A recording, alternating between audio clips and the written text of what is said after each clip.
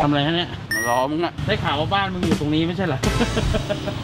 ตอนนี้เราอยู่กันที่เอ็มควอเทียนะครับผมก็ต้องบอกอย่างนี้ว่าช่วงนี้เนี่ยเป็นช่วงเทศกาลแห่งความสุข ช่วงนี้เราก็เริ่มออกมาได้บ้างแล้ว ก็หวังว่าจะไม่มีโอ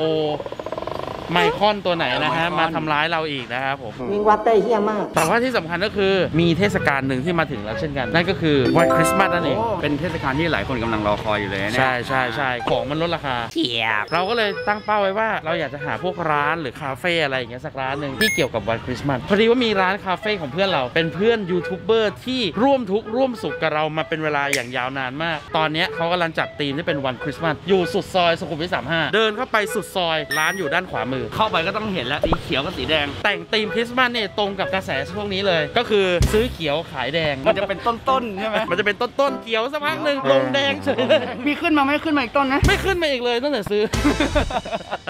68 trillion dollars. Holy shit! มาดูกันว่าร้านจะเป็นยังไง ไปกันเลยครับซื้อเขียวขายแดง มึงคิดได้ไงบันไดอยู่นู่นเอามาได้อยู่นู่น ก็ได้ลงจริงๆอะแดงอะลงบันไดเหรอฮะ เลือด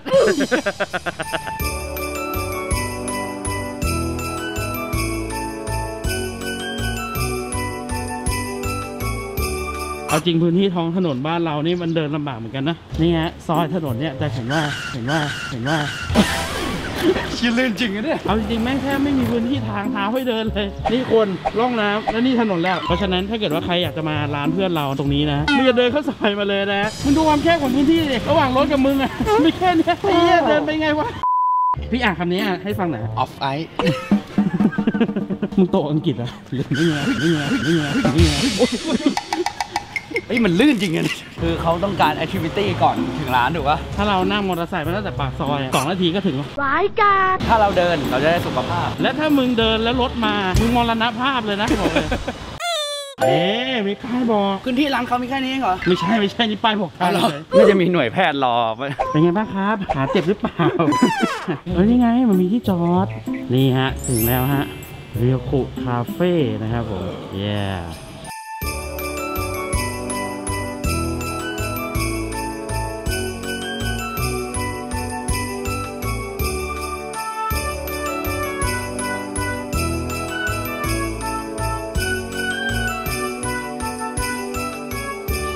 เอาละครับตอนนี้เราก็อยู่กันที่หน้าร้านเรียวคุคาเฟ่นะครับผมอย่างที่บอกไปวันนี้เรามาที่ร้านเพื่อน เป็นเพื่อนยูทูบเบอร์ที่ไม่ได้เจอกันนานมากแล้ว รู้จักกันมาตั้งแต่เกมแท้เกมเถื่อนอะพวกเกมแท้ฟังกันไว้นะวันนี้คือเกมเถื่อนคือดินแดนอิสระ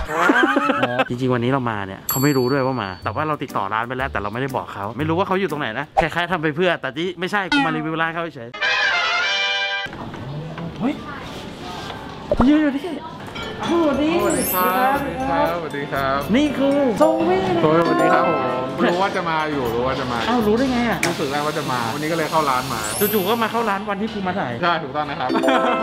ทำไมถึงชื่อร้านว่าเรียวคุคาเฟ่เรียวผูกแปลว่าเขียวขจีจะมีบรรยากาศพวกแบบเป็นต้นไม้อะไรอย่างงี้ถูกต้องครับบรรยากาศดีแค่ไหนถ้าของไม่ดีเนี่ยในร้านนี้ของดีหมดทุกอย่างของดีหมดใช่ไหมเดี๋ยวพี่ไปดูหลังร้านแป๊บไม่ใช่ของดีอย่างนั้นของอร่อยของอร่อยอะโอเคงั้นเดี๋ยวไปกินกันเลยดีกว่า เกตตี้เมนไตโกะอยากนำเสนอมากแต่เป็นนิดฟิวชั่นนิดฟิวชั่นนี่เป็นยังไงๆฟิวชั่นมากกว่า 8,000อะโอ้ มากกว่า 8,000 ช่วงระหว่างรออะระหว่างรอถ่ายเตรียมอะไรเงี้ยกลิ่นมันขึ้นมาเลยนะ ไม่ใช่กลิ่นกุ้งนะกลิ่นตีกูเนี่ย แต่เส้นเยอะมากเลยดูดิเส้นเยอะเส้นเยอะตะเกียบมีนะขนาดตะเกียบไหมล่ะ ให้มันเป็นญี่ปุ่นให้มันมากกว่านี้ด้วยตะเกียบเริ่มไปจีนแล้วนะที่เขาให้เยอะมากเหมือนกันนะเนี่ย เยอะเยอะคืออิ่ม อิ่มจุกๆเลยแล้วก็คุ้มแล้วก็อร่อยมากกุ้งกับ ตัวพาสต้านะครับไงอืมเป็นซอส เมนไดโกะที่ผมชอบที่สุดนะตอนเนี้ยจริงเลยจริงคือปกติเนี่ยเป็นคนที่ไม่กินเมนไดโกะเลยอย่างตอนที่ไปญี่ปุ่น เราไปที่เมืองของเมนไดโกะเลยคือฟุกุโอกะมันค่อนข้างที่จะหนักไปทางเค็ม แต่อันเนี้ยเค็มน้อยมาก แล้วก็พอมันเข้ากับตัวครีมซอสที่มันเข้ากับตัวพาสต้าทุกอย่างมันลงตัวกันหมดเลย แล้วเรารู้สึกว่ามันไม่เลี่ยนมากๆเลยแต่คอยคำได้ไหมไม่เป็นไรครับตามสบาย ผมนั่งผมนั่งมองผมยังหิวเลยพี่อืมตาย ตายเดี๋ยวก็บอกได้คำเดียวคลิปนี้สี่ทุ่มใจร้ายมากๆเลยนะโอ้สุดยอดมากพอดีพอดีเชฟร้านเราเก่งครับ ไม่ถ่อมตัวเลย หลายคนอาจจะไม่เชื่อ เราให้ตากล้องชิมเอาให้ตากล้องชิม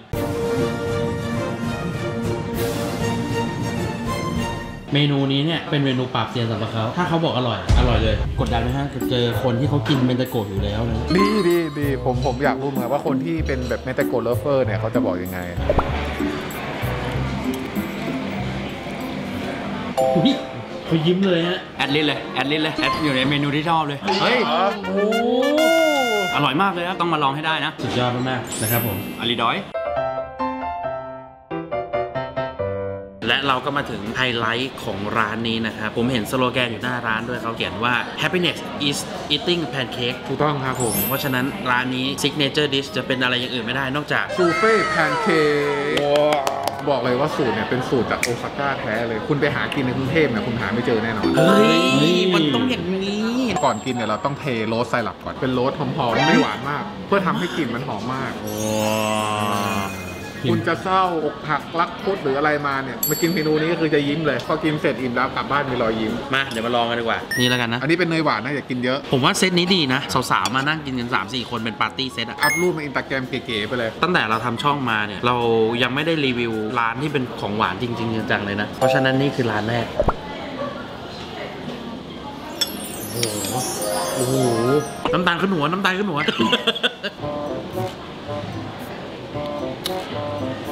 คือที่เงียบนี่คืออะไรคิดอยู่เหรอ มันค้างมันมันมันใหม่สำหรับผมมากเป็นครั้งแรกที่กินเนยที่เป็นแบบเนยหวานอย่างนี้ แล้วเนยหวานเนี่ยมันจะมีกลิ่นเฉพาะตัวของมันหอมเหลือเกิน แต่ที่น่าชื่นชมกว่าคือตัวของแพนเค้ก soufflé ที่มันนุ่มจนประมวลไม่ทันว่าเมื่อกี้กูเคี้ยวไปแล้วเหรอเมื่อกี้กูเคี้ยวไปแล้วเหรอวะแล้วทำไมมันไปแล้ววะมันเวอร์มากปกติกูกินบ่อยวะ อันเนี้ยช่วงเปิดร้านแรกๆผมได้ทานบ่อยอ่าลองไหม ให้ผมลอง เออเป็นครั้งแรกเหมือนกันที่เจ้าของร้านมานั่งรีวิวแดกเอง เป็นมิติใหม่ของการรีวิวเลยนะ คือเจ้าของร้านมานั่งกินด้วย เออรีวิวเองไหนลองดูสิรสชาติเป็นไงอะ ก็อร่อยเหมือนเดิม กัดเดียวอะ คือละลายแล้วอะอืมเดี๋ยวมันก็ไปลงไปเองยังไม่ทันกลืนเลยไอ้ที่กลืนอยู่ตอนนี้คือที่เคี้ยวเป็นกรอบๆก็ของก็ร้านมีอยู่ครั้งหนึ่งผมเซ็งชีวิตตัวเองมาก เรื่องนู่นนี่นั่นเข้ามาในชีวิตทุกๆเรื่องเลย เมนูเนี่ย คือลูกค้าสั่งเกินมาด้วยความที่เราติดตัวแมนเราก็เลยรับผิดชอบ แต่ผมนั่งกินอยู่คนเดียว กินหมดเลยนะสามวันเฮ้ยถามจริงจริงพอผมกินเสร็จปุ๊บผมลืมเรื่องทุกๆไปเลยอะจริง ๆ ของหวานเนี่ยมันมันช่วยช่วยทำให้คนอารมณ์ดีได้จริงๆนะผมรู้สึกอย่างนั้น ยูซุโมจิโตะยูซุโมจิโตะยูซุโมจิโตะก็ได้ แล้วมีเจลลี่ยูซุอยู่ข้างล่างด้วยนี่นี่นี่นี่ไม่รู้เห็นหรือเปล่าอยู่ข้างล่างนี่นี่ยุกยิกยุกยิกอยู่เนี่ยเป็นสูตรพิเศษเฉพาะทางร้านด้วยโอ้นี่ทำเองขึ้นมาเลยอร่อยครับอะลองสักหน่อยโอ้โหเป็นโมจิโต้ที่หอม ตอนแรกนึกว่ามันจะมาแบบเป็นเจลลี่แข็งๆอะเนาะ แต่จริงๆ แล้วมันคือมันเป็นแบบเจลลี่แบบเจลลี่จริงๆ กินปุ๊บแล้วแบบ แล้วก็แบบ ละลายไปเลย ผมแนะนำเลยใครที่ชอบมาร้านคาเฟ่แต่ไม่ชอบกินกาแฟอยากได้ความสดชื่น เมนูนี้ตอบโจทย์ นี่อะไรอีกอะเนี่ย Thinking of You ครับ ก็คือเป็นช็อกโกแลตปั่น ซึ่งเป็นสูตรลับของร้าน แล้วก็โรยด้วยผงโกโก้ โอ้โหคุณดูความหนามันดิใครชอบโกโก้ชอบผงโกโก้ผมบอกเลยเมนูนี้ตอบโจทย์ อืมมันมีความลับมันมีเจลลี่อยู่ข้างล่าง ตัวโกโก้เนี่ยมันจะมีความขมหน่อย แต่มันจะไม่เหมือนขมกาแฟ อารมณ์ feel เหมือน dark chocolate เจลลี่ที่มันมีความหวาน มันทำให้ความขมตรงเนี้ยมันบรรเทาลงและกลายเป็นความอร่อย ผมบอกเลยกินกับแพนเค้กนี่คือเข้ากันมากอ่าเอาวิปครีมไปด้วยหน่อยหนึงอะวิปครีมก็หน่อยาคนนี้เขาชอบแบบ combo อย่าอย่าอย่าเพิ่งอย่าเพิ่งเคี้ยวหมดตามด้วยโกโก้สูตรผมสูตรผม แล้วคุณจะฟินแบบ โอ้โห โอ้ตายแล้ว thinking of you ต้อง thinking ถึงแพนเค้กด้วย happiness เสียดายแทนแฟนที่ไม่ได้มา ข้างหน้าพาแฟนมาด้วย ผมว่าแตก อะไรแตกครับ กระเป๋าตังค์กูเนี่ยแตก แตกแน่ๆนี่ผมยังละทิ้งแพนเค้กอันเก่าผมไม่ได้เลยนะแต่อยากเมนูนี้ก็อาจจะทำให้คุณลืมแพนเค้กได้เหมือนกัน โอเค มาเมนูนี้นะฮะมีชื่อว่า Christmas mousse dome นะครับผม จะมานะแค่ช่วงเทศกาลคริสต์มาสขายไปจนถึงช่วงปีใหม่ ใช่ครับ โอ้อุ้ย อุ้ยตายแล้วโอ้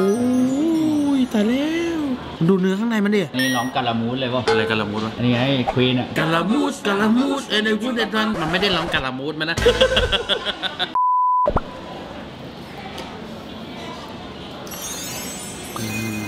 จิงกะเบลจิงกะเบลงูเลื้อยมาที่เอว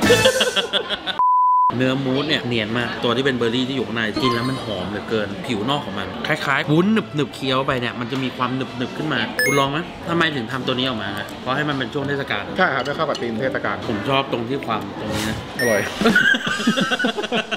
เห็นไหมกูบอกแล้วว่าทำไมเราถึงต้องให้เจ้าของร้านรีวิวด้วยความที่ผมอะตัวเน้นฟิตเนสผมก็เลยไม่ค่อยทานเยอะ แล้วพอกลับมาทาน มันอร่อยมากไอ้แต่ผมกินนิดเดียวผมไม่ผมไม่ซีเรียสอ่าแต่มันคุ้มค่าที่จะกิน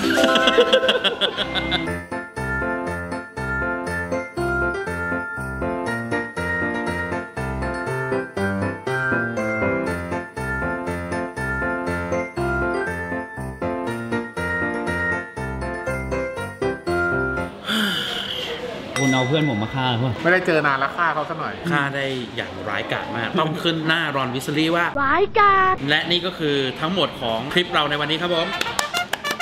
เชิญฝากร้านให้เลยครับผมสาขาแรกสุขุมวิท35 นะครับครับ ก็เข้ามาสุดซอยเลย มา BTS ได้เลยพร้อมผมมารถยนต์เรามีที่จอดรถแล้วก็สาขาน้องใหม่เลยเพิ่งเปิดนะครับที่เซ็นทรัลอยุธยาครับผมว้าว เราอยากให้คุณได้มาพักผ่อนในกลางกรุงเทพแล้วก็ได้ทั้งรูปสวยๆได้ทั้งกินอาหารอร่อยๆที่สำคัญเนี่ยเราพาน้องหมาน้องแมวมาได้ด้วยเราอ๋อจริงเหรอ มีโซนนอกจัดให้ สุดท้ายนี้นะฮะก่อนจากกันไปนะครับ อย่าลืมกดไลค์ กดแชร์แล้วก็ Subscribe ให้กับช่องรามูเนของพวกเราด้วยนะครับ จะไม่พลาดคลิปใหม่ของเราทุกสัปดาห์เลยทีเดียวนะฮะ แล้วก็ฝากติดตามโซวีด้วยนะครับครับผม search ว่าโซวีได้หมดเลยวี่เนอะ คือคำว่าโซวี่คือเจอทุกอย่าง ถ้าเกิดว่าเรามีคอนเทนต์อะไรที่เกี่ยวกับของหวานหรืออะไรเงี้ย เราเอาโซวีมาด้วยได้ไหมได้เดี๋ยวผมไปเป็นแขกรับเชิญไปดิไปดิเอาไปใช่ไหมขอตัวลาไปก่อน แล้วพบกันใหม่คลิปหน้าครับฮายบ๊ายบา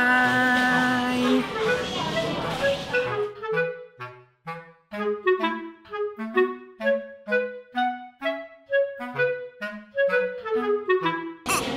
ชายคนนี้เขายังคงกินอยู่นะครับ ชีวิตของเขานั้น